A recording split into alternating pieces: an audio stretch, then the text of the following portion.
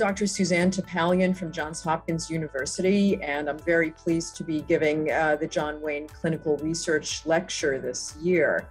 Uh, my lecture is going to focus on immunotherapy and, in particular, a new approach to applying this kind of therapy in cancer, which is neoadjuvant therapy.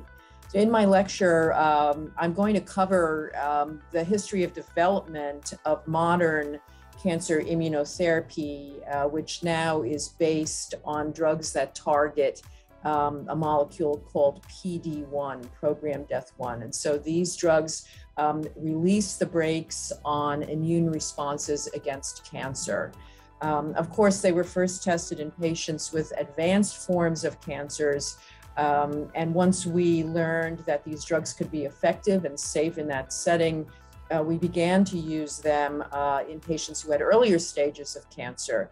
And here's where uh, the role of surgeons became especially important. So these drugs have now been developed in the adjuvant uh, setting for patients who have had their cancer resected but who are at risk for recurrence.